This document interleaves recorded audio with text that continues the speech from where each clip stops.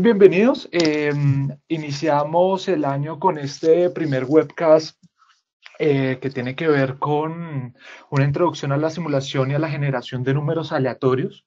Digamos, un tema relevante eh, cuando vayamos a, estudiar riesgo, cuando vayamos a involucrar incertidumbre en la toma de decisiones. Y obviamente se puede extrapolar a otras disciplinas, como lo puede ser la biología, como puede ser la química, la física, y así sucesivamente. Pero vamos a darle un poquito de énfasis financiero-económico. ¿Bien? Digamos, a, lo que tiene que ver a la generación de números aleatorios. Entonces, lo primero que uno se tiene que preguntar es, bueno, ¿y esto para qué sirve? O sea, ¿con qué propósito yo voy a generar números aleatorios? Si yo tengo mi modelo totalmente estático, tengo un modelo, digamos, de producción, tengo un modelo de inventarios, tengo un modelo de elasticidad precio de la demanda donde involucro precio y cantidad, ¿Cuál es el propósito de la generación de números aleatorios? Simplemente con el propósito de generar múltiples escenarios porque estamos expuestos a diferentes variaciones en las variables que estamos incluyendo en nuestros modelos. ¿Con qué propósito? Análisis de riesgo. Entonces, por lo general, estamos enfrentados, voy a colocar esto un poco más grande, y voy a colocar esto por acá, listo. Nos enfrentamos a situaciones sobre la que no es posible obtener una información satisfactoria o es muy costosa su investigación. Entonces, es posible mediante procesos de diseños de experimentos o en procesos de diseño de operaciones simular una realidad. Entonces, ¿Cuál es el propósito de la generación de números aleatorios? Replicar una realidad económico-financiera a partir de un modelo sencillo y práctico, un modelo muy, muy, muy simple y que recoja todas las relaciones o leyes que se consideran fundamentales, tanto estadísticas como financieras, para poder simular una realidad. ¿De acuerdo? Entonces, básicamente, una simulación va a consistir en operar con un modelo numérico que representa la estructura de un proceso dinámico a través del cual se realizan experimentos sobre X números de hipótesis. Entonces, ¿Cuál es el propósito de, esta presentación o de este webinar? Mostrarles cómo se puede utilizar Microsoft Excel para hacer simulación y generación y cuál es, digamos, la desventaja de utilizarlo. Primero, porque eh, me consume mucho espacio en la memoria del computador. Segundo, porque no me genera histogramas de frecuencia y estadísticos para poder hacer interpretaciones. Y tercero, eh, la escasez de instrucciones de probabilidad que podríamos utilizar. Eh, en Excel, eh, digamos, es muy limitado. Tenemos cerca de 7 o 6 eh, distribuciones de probabilidad para hacer simulación, dentro de las cuales se encuentra binomial, distribución normal, uniforme, también una distribución personalizada que, digamos, nos podría servir para simular diferentes eventos o diferentes variables aleatorias dependiendo de la disciplina que nosotros estamos llevando a cabo. ¿Vamos bien de audio? ¿Me podrían confirmar? Creo que sí, vamos bien de audio. Entonces, vamos a, pasar a la, siguiente, mm, el siguiente slide. Entonces, lo primero que tenemos que hacer cuando vamos a construir un modelo donde intervienen números aleatorios es establecer un modelo. Un modelo determinista básicamente es donde estoy sumando, restando, multiplicando dos variables que ya están determinadas. Podría ser A más B igual a C, A por B igual a C. Eso es un modelo totalmente estático, determinista. Yo estoy asumiendo y estoy siendo un poco ingenuo en decir de que el precio va a estar determinado por estas unidades monetarias y las cantidades van a estar expresadas en estas unidades totalmente estáticos. Es decir, que voy a hacer una fotografía de toda la película que podría empezar a simular en una realidad ya preestablecida. ¿De acuerdo? Entonces, lo primero que tenemos que hacer es un modelo, una versión simplificada de una realidad con el propósito de conocer y predecir el objeto real. ¿De acuerdo? Estos modelos se van a construir con una finalidad, estudiar el objeto real con mayor facilidad y deducir propiedades difíciles de, observar en la realidad por el simple hecho de que yo no puedo de alguna manera involucrarme con la incertidumbre, entonces me voy a apoyar de instrucciones de probabilidad de diferentes comportamientos aleatorios para poder eh, construir estos modelos. Entonces, esto nos va a permitir que eliminar o simplificar componentes que no podemos observar o que es muy difícil de recopilar en la vida real. Cambiar las escalas espaciales o temporales porque podemos hacer proyecciones con estos modelos. Vamos a variar las condiciones del entorno ¿Listo? Porque podríamos generar múltiples escenarios, ¿de acuerdo? Podríamos generar múltiples escenarios, un análisis what if. Mira, ¿qué pasaría si el precio varía 1%, 2%? ¿O qué pasaría si el precio sigue una distribución log normal, una uniforme, una triangular? ¿Qué pasaría? Un análisis what if. Y vamos a evitar la actuación sobre el objeto real, ¿de acuerdo? Entonces, podemos simplificar Podemos cambiar escalas espaciales o temporales, ya que podemos apoyarnos de la simulación, podemos variar esas condiciones. ¿Qué pasaría si llega una política? ¿Qué pasa si sucede una catástrofe? ¿Qué sucedería si hay una huelga? ¿Qué pasaría con mi análisis? ¿De acuerdo? Y vamos a evitar de trabajar con el objeto real, ya que estamos trabajando con un modelo simplificado. ¿De acuerdo? Estos modelos pueden representar objetos o procesos, básicamente involucrando la simulación. Entonces podemos ver múltiples ejercicios, múltiples ejemplos, podemos extrapolarlo a cualquier disciplina. Yo puedo tener modelos de manufactura, producción, cuánto debería invertir, dado mis costos fijos, mis costos variables, ¿Cuál debería ser la cantidad o participación óptima en un proceso de inversión? ¿Será que mover por acciones? ¿Será que mover por bonos? ¿Será que la deuda que yo tengo actualmente en la empresa se puede optimizar garantizando tener recursos en el corto, en el mediano plazo? Entonces también puedo hacer modelos de planeación financiera. Claro, porque si yo estoy esperando de que mi utilidad va a ser positiva asumiendo o, siendo muy ingenuo de que las condiciones del mercado siempre van a ser las mismas, pues estás totalmente errado. Entonces, cuando yo involucro simulación de Monte Carlo al generar múltiples escenarios, ya no voy a tener un único valor, voy a tener muchos valores, 5 mil, 10 mil valores. Con esos 10 mil valores, yo puedo encontrar el valor esperado, cuánto esperaría ganar, ¿Cuál sería la probabilidad de ocurrencia de un evento? Por ejemplo, mi objetivo es vender 10 mil dólares. ¿Cuál es la probabilidad de que yo cumpla ese objetivo? Esa meta preestablecida dentro de la junta directiva de una organización. Y así sucesivamente. También podría generar intervalos de probabilidad y cualquier estadístico descriptivo que podría mejorar la toma de decisiones. Y especialmente una de las herramientas que tenemos, o, o, más bien software que tenemos de apoyo, pues es Microsoft Excel, una hoja de cálculo. ¿Por qué? Porque en la hoja de cálculo yo puedo utilizar las funciones financieras, matemáticas, lógicas, de búsqueda. Entonces puedo empezar a jugar con las relaciones matemáticas y lógicas que tengan los modelos. Puedo variar condiciones. Por ejemplo, si yo tengo que producir, o más bien yo tengo que comprar mil unidades a un proveedor y en vez de eh, comprar esas mil unidades, compro cinco mil, pues el costo variable va a bajar por, digamos, por términos de negociación con el proveedor. Eso sería muy difícil, digamos, en otro software, digamos, eh, eh, en Excel nos, podría ayudar en la medida de que podemos hacer un consulta B o un buscar B o, una, un condicional. ¿De acuerdo? Datos determinísticos se asuman conocidos con certeza. Listo, tengo un punto básico. Yo pensaría de que el precio sería 100 eh, dólares y las cantidades que yo voy a ofrecer en el mercado, dependiendo de la demanda preestablecida, son 5 mil cuál sería mi ingreso. Y cuando ya tengo ese modelo construido en una hoja de cálculo, pues yo ya puedo incluir dentro de ese modelo distribuciones de probabilidad y ya podría interpretar esto de una manera de dominancia estocástica. ¿De acuerdo? Modelos estocásticos. Entonces, ¿cuáles, eh, digamos, serían las pautas elementales para construir un modelo? Primero, ¿cuál es mi objetivo? O sea, ¿con qué propósito yo voy a incluir incertidumbre a la utilidad neta? O a la utilidad operacional, o a la demanda, o simplemente al ingreso. Entonces, ¿con qué propósito yo voy a construir mi modelo? Quiero hacer un flujo de caja y descontar todos esos flujos futuros a valor presente con el propósito de pronosticar el BPN. Ah, bueno, ya tengo mi objetivo. Cuando yo ya preestablecí mi objetivo, o sea, cuál es el propósito real de la simulación de Monte Carlo, pues yo tengo que decir, tengo que identificar cuáles son las variables de decisión. Estas variables de decisión son las que yo tengo pleno control, ¿de acuerdo? pleno control. Por ejemplo, cuánto producir.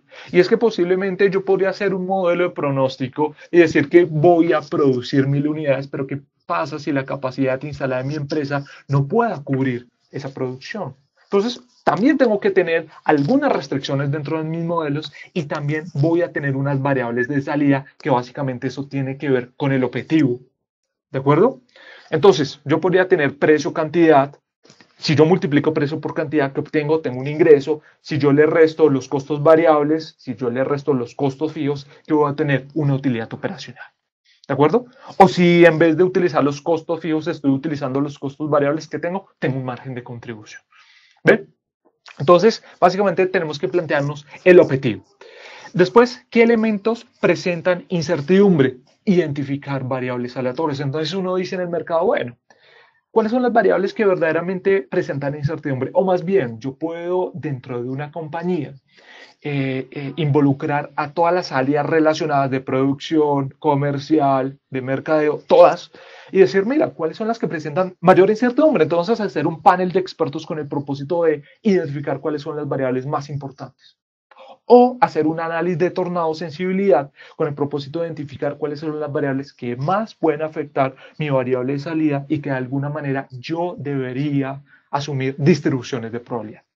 Después de eso, después de que yo identifico cuáles son las variables de decisión, cuál va a ser mi objetivo, cuáles son mis variables de salida, cuáles son mis variables aleatorias, pues simplemente voy a ejecutar mi modelo.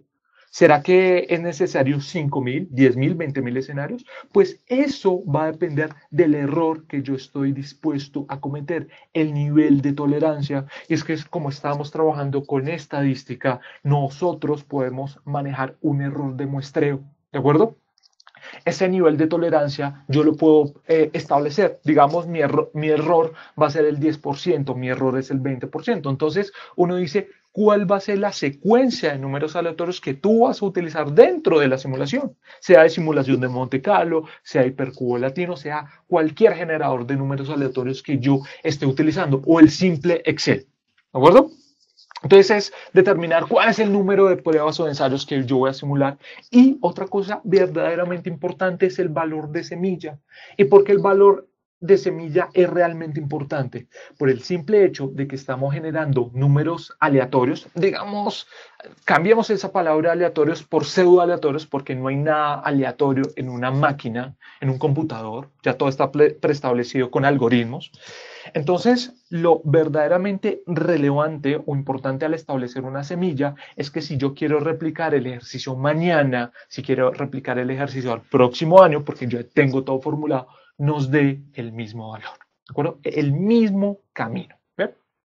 Entonces, ¿qué es importante? El objetivo, las variables de decisión, de salida, las variables aleatorias y cuál es el número de iteraciones que voy a ejecutar.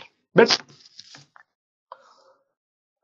Entonces nos vamos a encontrar con los siguientes modelos o con los siguientes tipos de procesos que podríamos enfrentar en una hoja de cálculo. Primero, un modelo estático. Vamos a interpretar la realidad en un instante de tiempo concreto. A más B igual a C. Entonces yo tengo un PIG, un balance general, un estado de resultados. Entonces esa es mi fotografía. Pero ¿qué pasaría si yo quiero hacer una proyección mañana? Porque las condiciones de mercado pueden variar. Entonces ya no haría un modelo estático, sino un modelo dinámico. Ese teta, digamos A más, más B más teta, igual a C, ya estoy incluyendo una distribución de probabilidad. Esa distribución de probabilidad se puede asignar dependiendo de las variables que tengamos, dependiendo de los datos que tengamos con respecto a esa variable aleatoria o simplemente de la obtención de datos históricos, ¿de acuerdo? Entonces existen dos caminos para asignar distribuciones. Una, cuando no tengo información histórica, cuando no tengo información histórica y es muy, muy difícil conseguir información, pues es más fácil preguntarle a un experto y decirle, mira, ¿cuál sería el escenario pesimista y optimista? ¿O será que existe un escenario probable? Entonces ya tendría tres escenarios, mínimo, máximo y más probable. Entonces uno diría, a mí me explicaron en estadística de que cuando una distribución tenga, tenga mínimo, máximo y más probable, podría ser una triangular, una pair, podríamos utilizar. O solo tengo mínimo, máximo, sería una uniforme. Ah, pero es que la variable que yo estuve estudiando es netamente discreta, por ejemplo, cantidades. Entonces ya no sería una uniforme continua, sino una uniforme discreta. Entonces, si no tengo información, tengo que mirar si hay estudios previos dentro de mi compañía o estudios académicos con el propósito de asignar una distribución en particular hacer un panel de expertos o en el otro caso, en la otra mano, estaría tengo información disponible. Entonces, si tengo información disponible, yo le puedo decir a un software de simulación, mira, ¿cuál es la mejor distribución de probabilidad que siguen esas datas con el propósito de recopilar ese proceso generador de esa variable aleatoria? ¿De acuerdo? Entonces, si no tengo información, utilicemos triangular, uniforme, PERT, distribución normal, log normal, digamos que teóricamente uno dice que la rentabilidad se distribuye como una normal y los precios como una log normal, entonces puedo asumir eso. Pero si tengo información histórica, pues hagamos una justa distribución y digámosle al software cuál es la mejor, dependiendo de algunos criterios de bondad de ajuste y algunas pruebas de hipótesis no paramétricas. ¿De acuerdo? Entonces podría tener un modelo estático, un modelo dinámico, asumiendo distribuciones de probabilidad, pero el más interesante es un proceso estocástico. Y un proceso estocástico básicamente es ese mismo modelo dinámico que yo tenía, ¿cierto?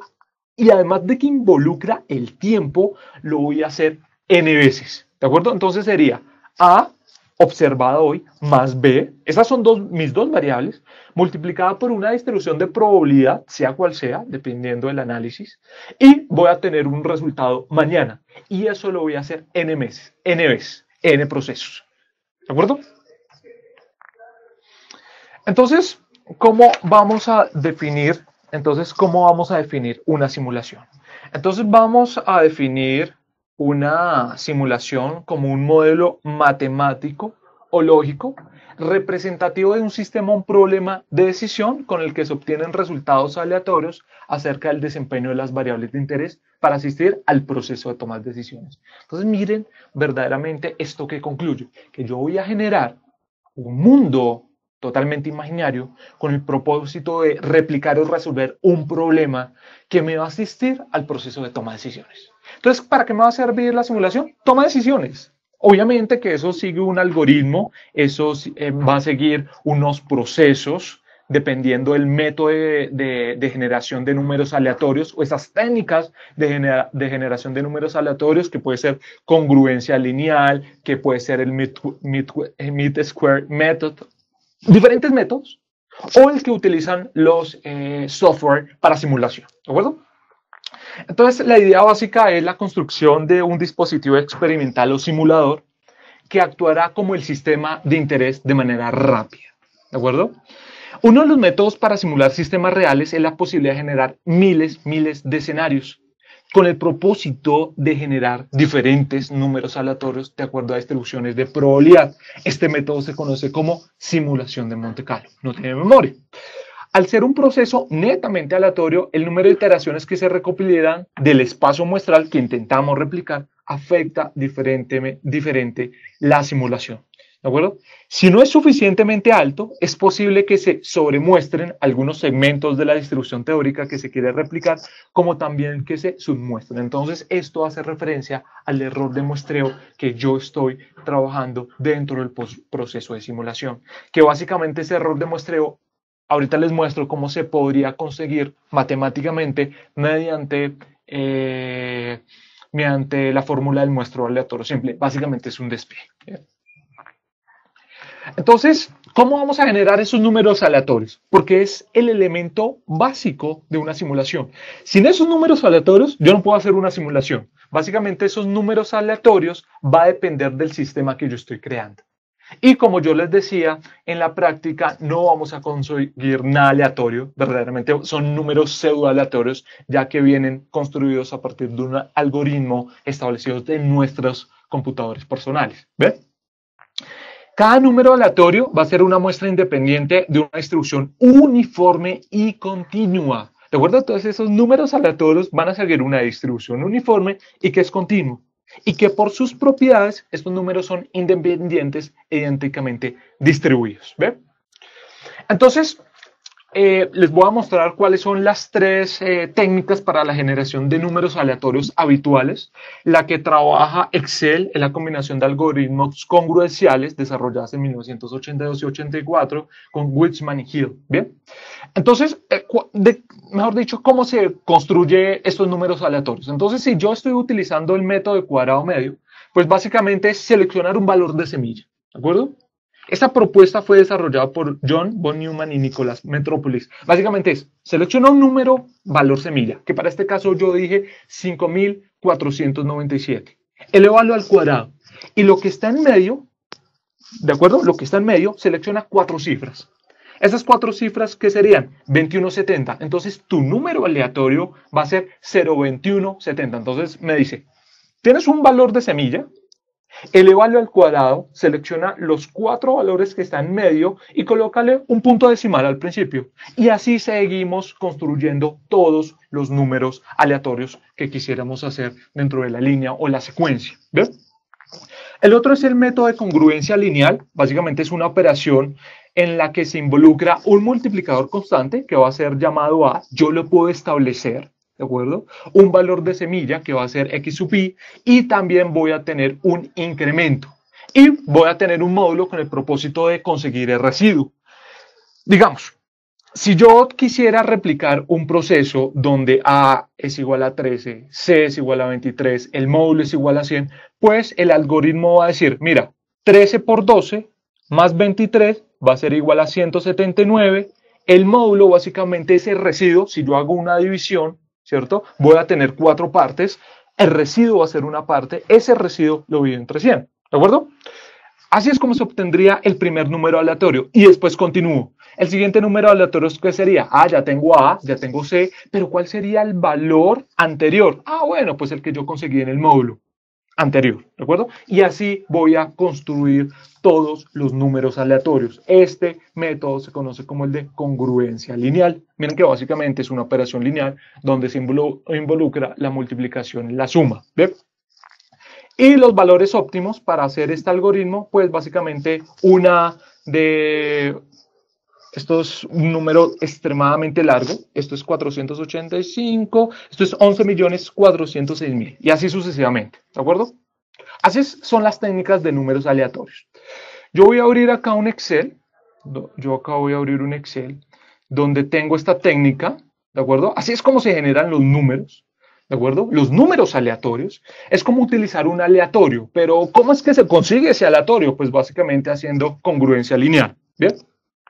Entonces, fíjense que básicamente va a ser el residuo de la operación que yo les mostraba. ¿Cuál era la operación? A, ¿cierto? Por el valor de X, que es el valor de semilla, ¿cierto? El valor inicial, más la amplitud, que para este caso sería C, dividido el número de módulos, ¿de acuerdo? Y así obtengo estos números aleatorios. Cerca de 10.000 números aleatorios. Y si yo construyo un histograma de frecuencias, un histograma de frecuencias, voy a construir un histograma de frecuencias, voy por acá a insertar un histograma de frecuencias, ¿listo? Y voy a decirle acá de que los intervalos o el número de rangos van a ser 10, ¿listo? Fíjense, fíjense que es una distribución uniforme, ¿de acuerdo?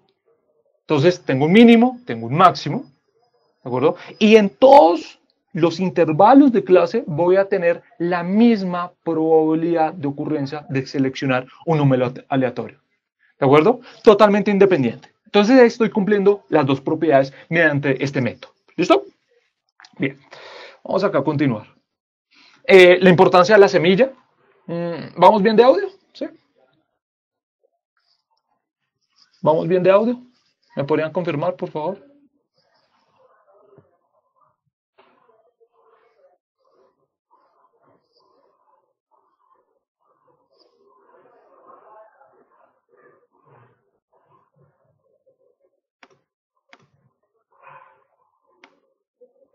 Perfecto. Gracias, David. Gracias, Virgilio. Perfecto, bien. Entonces, eh, anteriormente, les dije por qué es importante la semilla. Entonces, voy a leer solo la primera frase. Dice, configurar el mismo valor de semilla o valor inicial, ¿de acuerdo? Con el que se construye el valor secuencial en una simulación, siempre obtendrá los mismos resultados. Asumiendo que el número de intentos es el mismo y que el modelo con los supuestos relevantes y pronósticos son los mismos. Entonces, obviamente, si yo tengo una distribución normal para una variable y otra distribución triangular para otra, vuelvo a hacer mil iteraciones dentro de la simulación con un valor de semilla, vuelvo a replicar el ejercicio con los mismos supuestos, eh, con el mismo número de iteraciones y el, el, mismo valor de semilla, voy a obtener los mismos resultados. Y eso, digamos, funciona en la medida que pueda hacer un proceso de auditoría. Si estoy trabajando en una institución que me está eh, diciendo cómo generaste este value at risk, cómo generaste este conditional bar con simulación, me gustaría ver los datos. ¿Por qué? Porque ellos pueden replicar el modelo y si ese modelo resulta que por muestreo medio diferente, por error de muestreo medio diferente, pues va a decir, mira, lo calculaste mal, o qué pasó acá, porque no existen más iteraciones. Entonces uno podría establecer un valor de semilla para que siempre que ejecutemos ese modelo nos dé los mismos valores finales. ¿De acuerdo? Por eso es importante un valor de semilla. Y pues obviamente no, ya vamos a hablar con respecto a la simulación de Monte Carlo, que básicamente es una técnica de simulación de números aleatorios a través de una o más distribuciones de, probabilidad para utilizarlos dentro de un proceso de simulación. En un Monte Carlo, el muestreo es artificial o simulado, tratando de crear un universo teórico descrito completamente por una ley de probabilidad, que se, que se supone conocida o adecuada. Posteriormente, de este universo se obtiene una muestra aleatoria mediante una sucesión de números aleatorios. Entonces, voy a ver un poquito acá Excel para mostrarles cómo sería básicamente la construcción. Voy acá a hacer un modelo de beneficios. Tengo algunas variables como supuestos del modelo y tengo unas salidas del modelo. ¿De acuerdo? Entonces, podría enfrentarme a un factor de riesgo, que sería la inflación para este caso. Pero yo no sé qué va a pasar con la inflación de hoy, de mañana, de pasado mañana. No tengo ni idea de lo que va a ocurrir. Entonces, voy a seleccionar una distribución de probabilidad. Pero también tengo incertidumbre en cuáles van a ser los costos unitarios. Tengo problemas con el proveedor, ¿de acuerdo? Y también con el precio. Entonces también tengo un, problema de demanda. Entonces, a mí me gustaría pronosticar, no sé, la utilidad acumulada al tercer año, o la acumulada al segundo año, o la parcial al primer año. Quiero involucrar un proceso de incertidumbre dentro de este modelo estático. Entonces uno diría, yo podría conseguir la inflación de estudios económicos, de revistas del banco, de los bancos centrales. ¿Listo? Porque ellos te establecen una meta y establecen unos rangos o también hacen proyecciones con intervalos de confianza o también pronósticos puntuales. Entonces la inflación no es el lío, no es el lío, porque yo también podría asumir que podría suceder con la economía, enfocándome en las tasas de interés, qué está pasando con la economía de Estados Unidos y así sucesivamente. Con los costos unitarios, yo también podría relacionar precios históricos, perdón, costos históricos, costos unitarios de las mercancías. Igual que los gastos unitarios en administración, porque yo soy muy juicioso, entrego mis balances generales o tengo un histórico de lo que me ha costado la operación y a partir de esos datos podría asumir cuál es el mínimo máximo. Precio de venta, acá ya tendría que ser una, eh, digamos, una proyección enfocado en la elasticidad precio de la demanda o hacer una proyección univariada o multivariada. Entonces nos vamos a enfocar en diferentes supuestos, ¿de acuerdo?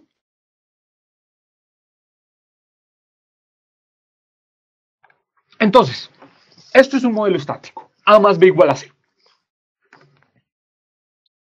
A más B igual a C. Vamos al modelo dinámico. Y solo voy a trabajar con Excel. ¿Listo? Solo con Excel. Entonces, la pregunta es, ¿qué pasaría si mi distribución de probabilidad yo la quiero construir? ¿Qué significa eso? Que yo podría establecer límites y probabilidades de ocurrencia. Acá yo que estoy diciendo, mira, la inflación tiene una probabilidad del 5% que esté entre menos 1 y 0, es decir, deflación. Hay una probabilidad del 10% entre que esté entre 0 y 1. Tengo una probabilidad del 25% entre 1 y 2 tengo una probabilidad del 50% de 2 y 3. Tengo una probabilidad del 10% que se encuentre entre 3 y 4. ¿De acuerdo? Entonces acá ya tengo incertidumbre porque no sé qué va a suceder. ¿Ve? Y voy a construir acá una probabilidad acumulada que simplemente va a ser la sumatoria. Entonces 5 más 10, 15. 15 más 25, 40. 40 más 50, 90. 90 más 10, 100. Entonces, ¿qué sucedería si tengo una distribución personalizada y la quiero, y la quiero involucrar dentro del modelo estático que estaba construyendo. Miren esto.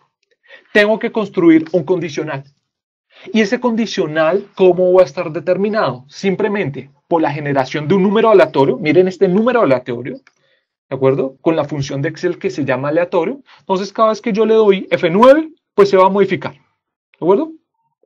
Dependiendo de la técnica, ¿de acuerdo? Y ya les dije cómo se llamaba la técnica. Congruencia lineal. Esa es la que utiliza Microsoft Excel, ¿de acuerdo? Combinación de congruencia lineal. Entonces, así voy a generar un número aleatorio que está entre 0 y 1. Uniforme, independiente, ¿de acuerdo? Un número aleatorio que sigue una distribución uniforme, continua, ¿cierto? Y que no se puede desviar de 0 y 1, ¿de acuerdo? Entonces, lo que le estoy diciendo acá al sistema es que, mira, si tú encuentras un valor que se encuentre por debajo del 5%, es decir, esto, si el número aleatorio es inferior al 5%, dile que la inflación es cero. Si está por debajo del 15%, por eso estoy utilizando acumuladas, utiliza una inflación del 1. Si está por debajo del 40%, utiliza 2 y así sucesivamente. Entonces aquí estoy diciendo, mira, primer escenario, segundo escenario, tercer escenario, cuarto escenario y así sucesivamente. Miren cómo va cambiando. ¿Listo? Eso es, ¿qué pasaría si es una distribución personalizada?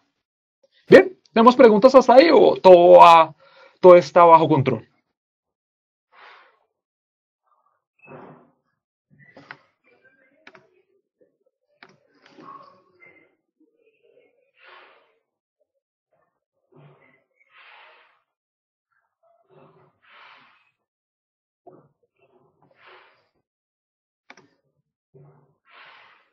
Creo que vamos bien, ¿cierto? Vamos bien. La siguiente pregunta es, ¿qué pasaría si la variable que yo tenía acá en costos, ¿cierto? En costos, en costos, sigo una distribución uniforme, mínimo y máximo, ¿de acuerdo? Entonces uno diría, esto es una distribución uniforme porque tengo mínimo y máximo, ¿cierto? Entonces uno dice, ¿cómo construyo matemáticamente una distribución uniforme para generar números aleatorios? Entonces uno dice, ¿qué tengo en la distribución uniforme? O sea, ¿cómo se construye una distribución uniforme? Así como se distribuye una distribución normal. Entonces uno dice una función de densidad. Todas las distribuciones de probabilidad tienen una función de densidad y tienen una función de distribución acumulada o de probabilidad. Entonces, si nos referenciamos, si vamos un poquito más allá y decimos cuáles son los parámetros para construir una distribución uniforme, uno tiene un máximo y un mínimo.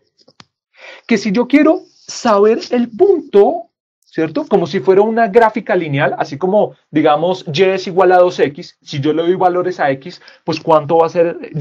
¿sí? Es exactamente con la función de densidad. Si yo tengo el máximo el mínimo, deme un punto. Y acá va a ser el mismo punto, porque es uniforme. Voy a tener la misma probabilidad, ¿de acuerdo? Pero ¿qué pasaría si yo quiero encontrar la probabilidad de ocurrencia en un punto en específico? ¿Qué tal que sea esto acá decir, no sé, 80 y 100, me gustaría saber la probabilidad de que se encuentre por debajo de 85%. Pues utilizo la función de distribución acumulada, ¿de acuerdo? Entonces esto es una probabilidad, ¿de acuerdo? Pero yo como quiero generar números aleatorios, pues vamos a despejar. Entonces voy a suponer de que esto que se llama f x, que está en mayúscula, ya sabemos que la acumulada, lo voy a llamar u, ¿sí? Para no llamarlo f de x. Entonces voy a llamarlo u. Si yo quiero despejar x, entonces x a qué sería igual. Miren que esto que está en el denominador pasa a multiplicar, es lo que tengo acá. Y esto que está restando, pues llamaría a sumar. ¿De acuerdo? Entonces, ¿cómo puedo generar un número aleatorio? Pues básicamente una distribución de números aleatorios. Acuérdense que puede ser uniforme entre 0 y 1. Lo que yo estoy haciendo acá en este ejercicio, mire, este es el número aleatorio con el que yo estoy construyendo la, distribución. Entonces voy a decir, bueno, es una uniforme. Entonces, ¿cómo la uniforme? Ah, pues ese número aleatorio, miren acá, número aleatorio, por máximo menos mínimo más el mínimo. ¿Yo cómo conseguí eso? Pues básicamente haciendo una metodología inversa para conseguir el valor de X. Mírenlo acá. Y así lo podría hacer con las distribuciones que tienen una forma cerrada a diferencia de la F, a diferencia de la chi cuadrado, que utilizan otras metodologías más desarrolladas porque las integrales no existen. Entonces ya tendríamos que hacer otro tipo de algoritmo. Acá sí lo podríamos hacer. Lo siguiente sería, ¿qué pasaría si sigue una distribución triangular? Ah, bueno, entonces el problema se complica un poco. ¿Por qué? Porque la triangular tiene una etapa de crecimiento y de crecimiento. Entonces vamos a, pasar acá a la siguiente diapositiva, donde está la función de distribución acá, de probabilidad. Entonces va a tener un valor cuando se encuentra por debajo del más probable, es decir, por debajo de este punto, va a tener un, tipo de, de, construcción matemática. ¿Y qué pasa cuando es mayor a esa probabilidad? Pues va a tener otra construcción. Entonces, si yo quisiera replicar este ejercicio, pues hago exactamente lo que hice antes. ¿Qué fue lo que hice antes? Pues despejar el valor de x. Cuando tiene un valor, negativo y cuando tiene un valor positivo. Perdón, negativo positivo no. Cuando está por debajo del más probable, cuando está por encima del más probable. ¿De acuerdo? Solo despejando. ¿De acuerdo? Solo despejando.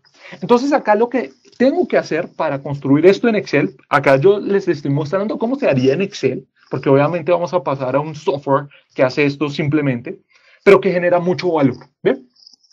Entonces lo que tengo que hacer acá es yo no tengo mínimo máximo y tengo que tener un número aleatorio. Ah, pues tengo que estandarizar un número dependiendo de los parámetros con que vas a construir esta distribución triangular para que estén limitados entre 0 y 1. Entonces, ¿cómo hago eso? Pues básicamente esta es la construcción. Más probable menos mínimo dividido a máximo menos mínimo siempre va a estar acotado entre 0 y 1. ¿De acuerdo? Entonces, si yo quisiera asignar una distribución triangular, que lo voy a mostrar acá, mire, básicamente es un condicional este condicional me está diciendo, mira, si esa estandarización se encuentra por debajo del más probable, pues utiliza una función. ¿Cuál va a ser esa función? Pues esta. Y si no es mayor, es porque es menor.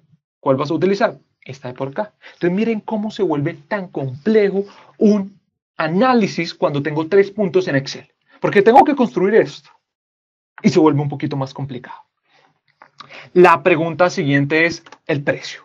¿Qué pasa si el, el precio se distribuye como una normal, donde los parámetros es media y desviación estándar. Pues necesito un número aleatorio, que ya lo tengo, que está limitado de una distribución uniforme, 0 y 1, ¿cierto?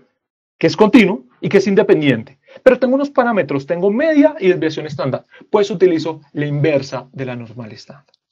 Y así sucesivamente con muchas distribuciones. Entonces yo podría decir, ah, ¿cuáles puedo simular? Ah, mira, la inversa de beta perdón, eh, simular la inversa de beta, no, beta, binomial, chi cuadrado, f, gamma, log normal, normal estándar, t, y así sucesivamente. Así yo puedo encontrar diferentes movimientos aleatorios dependiendo de las distribuciones. Miren cuántas tengo. Tengo pocas. ¿De acuerdo? Entonces se limita un poco en la medida que no me permite generar flexibilidad. ¿Y por qué? Porque seguramente yo estoy apoyándome en estudios académicos y me dice, tengo que simular una distribución Weibull para riesgo operativo o Pareto generalizada. No me permite generar esa flexibilidad. Tengo poquitas distribuciones de probabilidad. ¿Listo? Entonces, aquí lo que tendría que hacer básicamente es, ya tengo mi utilidad acumulada. ¿Listo? Y le voy a decir acá al software, mira, yo quiero hacer, no sé, quiero generar 5.000 escenarios. ¿Listo? Entonces, yo tengo acá escenarios, el número de escenarios y la utilidad acumulada que puede ser al tercer año. Entonces, voy a colocar acá para el tercer año. Listo. Quiero generar 5.000 números para la utilidad acumulada, para poder sacar interpretaciones. Voy a, voy a hacer 1.000. Voy a hacer 1.000 números. ¿Listo? 1.000 números. Entonces, ¿cómo puedo sacar mil utilidades acumuladas? Pues simplemente haciendo un análisis de escenarios. ¿Cómo hago ese análisis de escenarios? Es muy, muy, muy sencillo. Ya que construí distribuciones personalizadas, uniformes, triangulares y normales, de acuerdo a algunos criterios, y digamos haciendo algunos supuestos, de acuerdo a algunos supuestos, porque a cada uno diría, cuidado que el precio no sería tan normal, porque si uno mira la distribución normal, también podría tener valores negativos si los precios no son negativos. Entonces uno diría, ¿cómo puedo truncar una distribución de probabilidad? Será muy difícil. ¿De acuerdo? Se podría hacer, pero llevaría mucho tiempo hacerlo. ¿Y qué pasaría si la data que yo quiero, tengo historia, y me gustaría saber la mejor distribución? O sea, ¿cómo podría testear tantas distribuciones existan eh, perdón, existen en estadística en Excel. Sería verdaderamente complicado. Entonces voy a hacer acá 1000.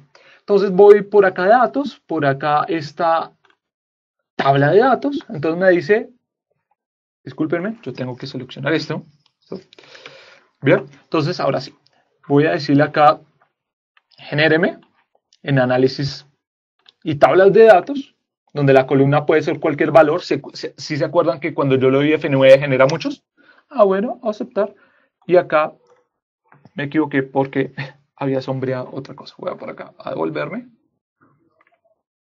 Listo, modelo. Lo voy a volver a replicar. ¿Listo? Listo. 1, 2 hasta 5000. Listo. Le puse el label. No le puse el número. Ahora sí. Aquí está. Bien.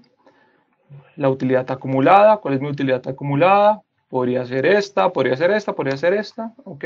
Y por acá sí generar todos estos datos. Análisis de datos, tablas de datos. Y vamos a decirle por acá un valorcito. Listo. Aceptar. ¿Ven? Acá cuántos datos tengo? Tengo mil de los posibles comportamientos que podría tener, da esa incertidumbre en precio, ¿cierto? Que esas son las variables aleatorias. ¿Cuáles son las variables aleatorias? Miren, esta es la primera. ¿Listo? Acá tengo incertidumbre. También tengo incertidumbre por acá. También tengo incertidumbre por acá. ¿Listo? Era una distribución personalizada. ¿Listo? Esto era una distribución uniforme una distribución triangular y una distribución normal. Mírenlo acá. ¿Listo?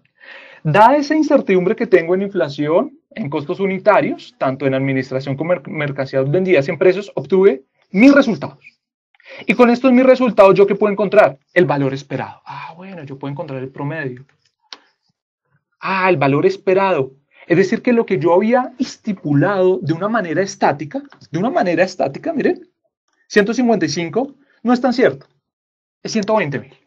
Después de ejecutar mil. Pero yo me puedo equivocar, ¿cierto? Yo me puedo equivocar. La mediana. Ah, bueno, ¿cuál es el valor central de esta distribución? ¿Será que es asimétrica o es simétrica? Ah, bueno, entonces yo puedo calcular acá la mediana. Ah, bueno, ¿esto qué quiere decir? Que el 50% de las observaciones se encuentran por encima de esto. Pero como estoy generando múltiples escenarios, yo podría decir que tengo una probabilidad del 50% de que la utilidad acumulada esté por encima de 121. ¿De acuerdo? Moda, es muy raro que exista una moda, es muy difícil que se repitan los números. Acá dice no aplica. También podría calcular la varianza. ¿Listo? La varianza. Yo acá dije covarianza. Uh bar.s. ¿Listo? Mírenlo acá. ¿Listo? La varianza no tiene interpretación. Lo que sí tiene interpretación, ¿qué es? La raíz de la varianza. Lo que en promedio cada observación se desvía a la media. ¿Listo? ¿Listo? 64%. Coeficiente de variación, me gustaría saber en porcentajes cuánto se desvía mi data. Cada punto observado del valor esperado. Ah, bueno, entonces es desviación sobre media. Y esto está en porcentajes. 53%. ¿Es confiable? No tan confiable, los datos son heterogéneos. ¿Será que es asimétrica la distribución de probabilidad? Es decir, que si construyo un histograma de frecuencias, ¿es simétrico o está sesgado? Ah, bueno, entonces yo puedo calcular acá el coeficiente de asimetría. ¿Listo? Tengo acá el coeficiente de asimetría, donde la base es cero. Si es igual a cero, yo podría decir que es simétrico. ¿De acuerdo? Curtosis. Ah, bueno, voy a calcular acá. Cuidado que esto no es curtosis, esto es exceso de curtosis. Ah, bueno, voy acá a calcular la curtosis. 0.18, la base cero. ¿De acuerdo? Si fuera netamente la curtosis, la base es 3, pero este es el exceso de curtosis, lo que excede el 3. Entonces, acá está por encima de 0, voy a decir que es leptocúrtica, es decir, que tengo una mayor probabilidad de tener eventos extremos o catastróficos, que para el caso o para el contexto de este flujo, de esta utilidad, pues yo diría que tengo una mayor probabilidad de tener utilidades muy altas como muy bajas. Bien. Podría calcular el percentil 5%. Ah, bueno, entonces percentil Percentil, listo.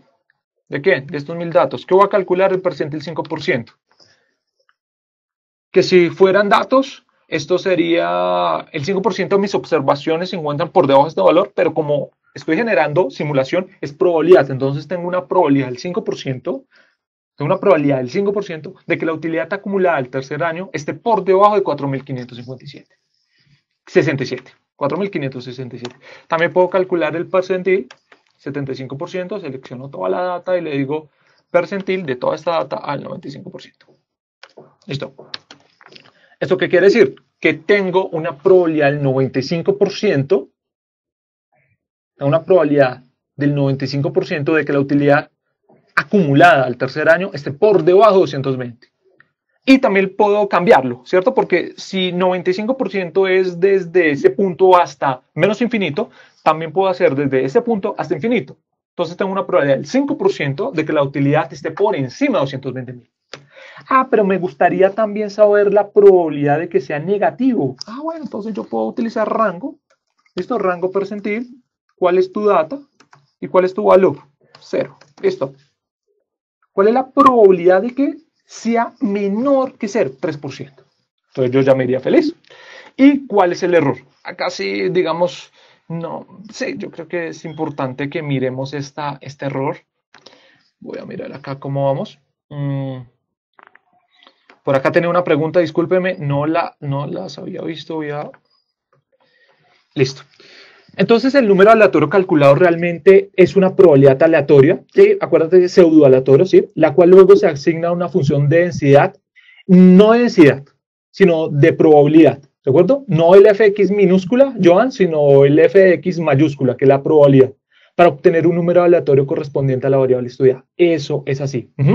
Pero cuidado, Joan, no con todas las distribuciones puedes hacer eso. Por ejemplo, no puedes hacer eso con la distribución normal porque algunas distribuciones no tienen una forma cerrada en sus funciones de distribución. Entonces toca buscarle un algoritmo de transformación inversa, que digamos el que yo había mostrado no se puede aplicar. Por ejemplo, para que tú eh, hagas una distribución normal, para que hagas una distribución normal, tendrías que utilizar el algoritmo que se llama de Box-Mueller. Sí, digamos utilizando las funciones de Excel, sería la inversa de la normal, pero esa inversa de la normal, cuidado que no son integrales. ¿De acuerdo? El algoritmo que utiliza esa función es el de Box-Mueller, que utiliza cosenos, utiliza phi, muchos, muchos parámetros. ¿De acuerdo? Ya que no tiene una, digamos, una solución cerrada en la construcción. Calculemos el error. Digamos cuánto me estoy equivocando. Si básicamente esto me va a responder, ¿será que es necesario aumentar el número de iteraciones? Porque yo hice mil ¿Qué tal que sean 2.000, 5.000? Listo. Entonces miremoslo matemáticamente cómo se construye un muestreo aleatorio simple. Un muestreo aleatorio simple es, tengo que tener en cuenta eh, un nivel de confianza, ¿de acuerdo? Un nivel de confianza da una distribución normal estándar con un nivel de alfa medios, ¿de acuerdo? Alfa medios. Listo. Y esto lo voy a multiplicar por la varianza. ¿Listo? Y todo esto, todo esto voy a colocar esto alfa medios entre paréntesis para que no se, para que no nos confundamos. Esto es esto por aquí y esto por acá, ¿listo? Todo este z al cuadrado lo multiplicamos por la varianza, que básicamente sería la desviación estándar al cuadrado, y esto lo dividimos entre el error máximo tolerable. ¿Cuánto estoy dispuesto a equivocarme? ¿5%? Esto está siempre medido en las unidades de la variable. Bien. Entonces, ¿cómo hago para despejar? Miren que le acabo de dar enter y todo ese proceso se demora. Entonces miren que acá ya hay una deficiencia en utilizar Microsoft Excel para generar números aleatorios. Le di enter y se demoró como dos segundos en, disponer la siguiente casilla, la siguiente, la siguiente celda. Entonces si yo quiero despejar el error, el error a qué sería igual? El error sería igual a z alfa medio, ¿cierto? z alfa medios por, ya no la varianza, porque miren que el error está elevado al cuadrado, está dividiendo, ¿cierto? Primero está dividiendo, entonces pasa allá multiplicar, ¿cierto? Es un cambio de términos, o sea, cambio el error al cuadrado entre n, ¿cierto? Pero está al cuadrado y yo solo necesito el error, entonces elevo todo al cuadrado, eh, eh, saco raíz, ¿cierto? Pero como yo acá estoy elevando, ¿cierto? Acá yo estoy elevando y la varianza también es elevar la desviación al cuadrado, pues yo qué obtengo acá? La desviación. La desviación. ¿Listo? Todo esto dividido la raíz de n. Así es como yo voy a sacar el error. ¿Listo? Pero como yo lo tengo que comparar con respecto a la media, todo eso lo divido entre la media y ese va a ser el error que yo estoy utilizando dentro de la simulación de Monte Carlo. ¿Bien? Entonces sería Z alfa medios. Ah, pero no tengo alfa, no sé cuál es el nivel de confianza que estoy utilizando. Bueno, entonces un nivel de confianza que voy a utilizar al 95%, es decir, que el nivel de significancia, que es el complemento, la probabilidad de cometer error tipo 1, ¿cierto? Es esto. Es la máxima probabilidad que se especifica para cometer error tipo 1, es el complemento del nivel de confianza. Pero como puedo equivocarme hacia la derecha, hacia la izquierda, pues yo divido esto entre 2. ¿Listo? Pero ¿qué más necesito? Necesito ese Z, que básicamente el Z es el número de desviaciones o más bien es un percentil dado una probabilidad. ¿Qué probabilidad? Esta. ¿Listo? Entonces, sería el inverso de la normal estándar, ¿cierto? A esta probabilidad. Y mírenlo acá. ¿Listo? Que es más o menos 1.96. ¿Listo? 1.96. Negativo. ¿Qué pasaría si yo no quiero mostrar la parte negativa sino positiva? Pues yo le digo acá 1 menos 2.5%, 97.5%, y me da el mismo 1.96, ya que la distribución es simétrica, tanto los valores como la derecha como la izquierda son los mismos, los porcentiles son exactamente los mismos, ¿sí?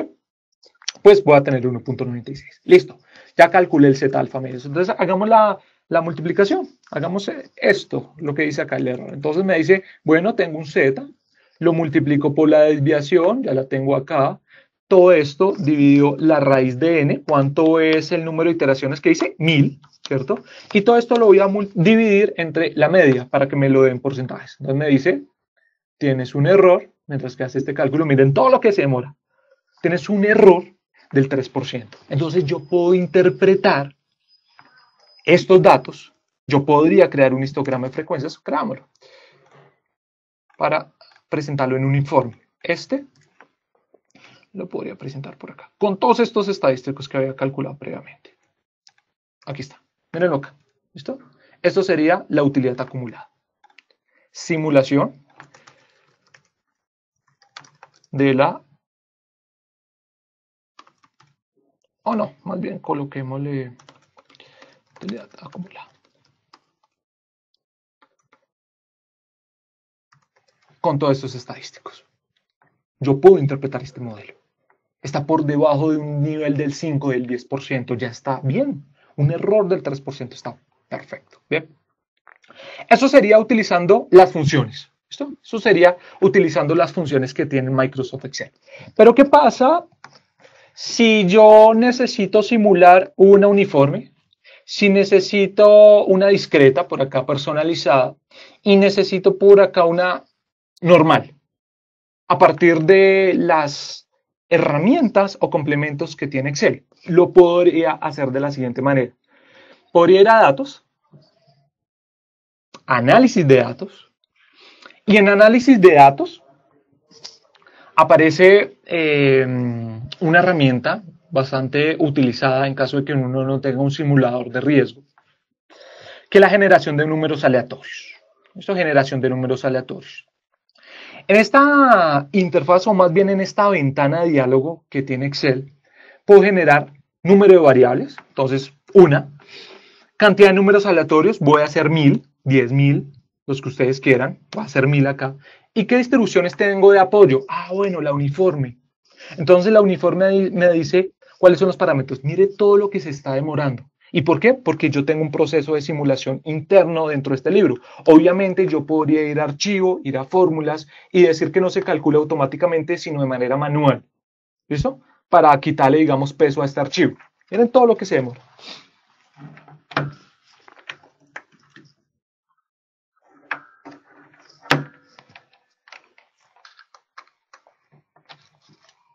Mire, uniforme. Entonces yo le podría decir, mira, yo quiero entre 1250, lo que tengo acá preestablecido, y 1850.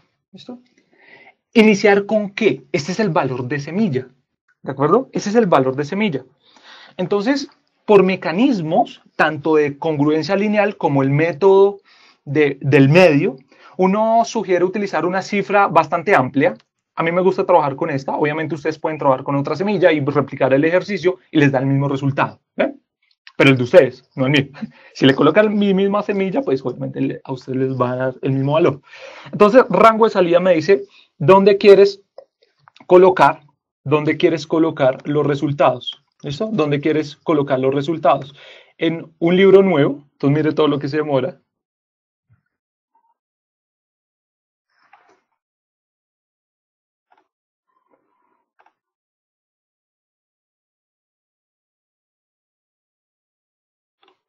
Creo que voy a mostrar este ejercicio como en otro libro, porque si está bastante pesado, voy a cancelar el autocalcular. Vamos a mirar. Regáleme un segundo si deja o no deja. Listo. Uniforme, 1000, ¿listo? 1250, rango de salida. Sí, creo que lo voy a crear en otro libro. Voy a llevar esto a otro libro de trabajo. Sí, creo que es mejor para tener que evitar estas demoras. Listo, esperemos un segundo.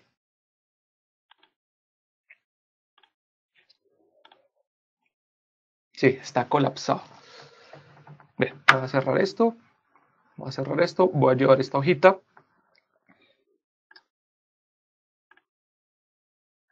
A un nuevo libro.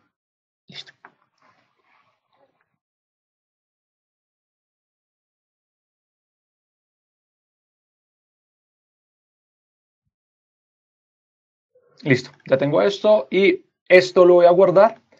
Voy a escribir mi correo por chat eh, en caso de que necesiten este material, tanto la presentación en PPT como en Excel. Voy a acá colocar mi correo electrónico ¿bien? en el chat.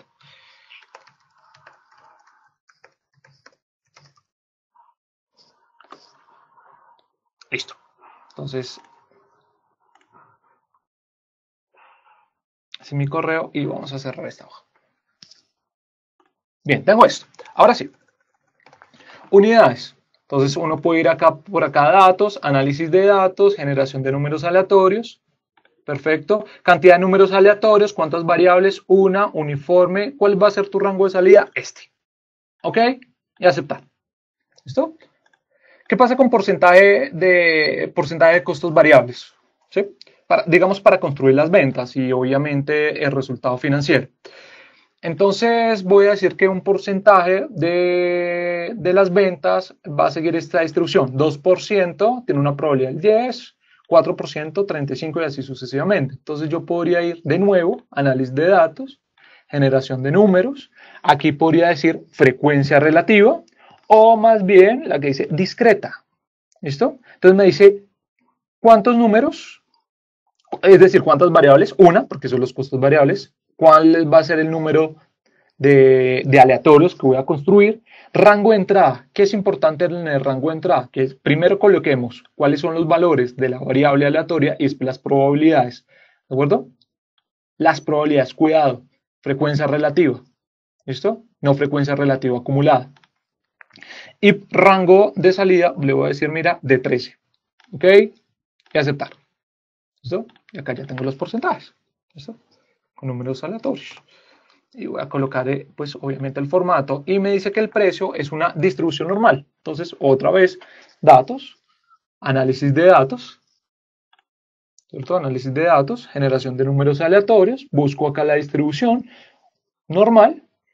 1, 1000. ¿Cuál es la media? 1100.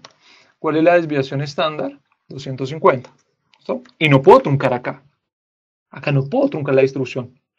¿Por qué truncar? Porque posiblemente al generar todos los intervalos de confianza, o más bien cuando yo sumo resto las desviaciones estándar, digamos al 99%, que son tres desviaciones, posiblemente se podría desviar a un número negativo y el precio no puede ser negativo. Y voy a decirle acá que no va a ser D13, sino E13. ¿Listo? 1100, 250, aceptar. ¿Listo? Entonces, ventas, costos variables, costos fijos, el resultado financiero, pues básicamente ventas menos costos variables, menos costos fijos, y tengo acá mi resultado financiero. Construyo un histograma y esto es lo que tendría que interpretar. Obviamente para eliminar esto, yo lo que tendría que hacer es sobrebordear esto. ¿Listo? Y pues bien, eso era básicamente lo que les quería mostrar el día de hoy. Quería mostrar un poquito más de Rick Simulator para mostrar las bondades, pero yo creo que lo voy a hacer en ocho días. Es decir, voy a hacer esto, este mismo ejercicio, pero utilizando las herramientas del simulador y truncando distribuciones de probabilidad, ya que el tiempo se nos ha acabado. Entonces, quiero agradecerles. Este fue, pues, básicamente el inicio de, lo, de toda la programación que tenemos para este año iniciando con la generación de números aleatorios. Espero que les haya servido, que les haya gustado.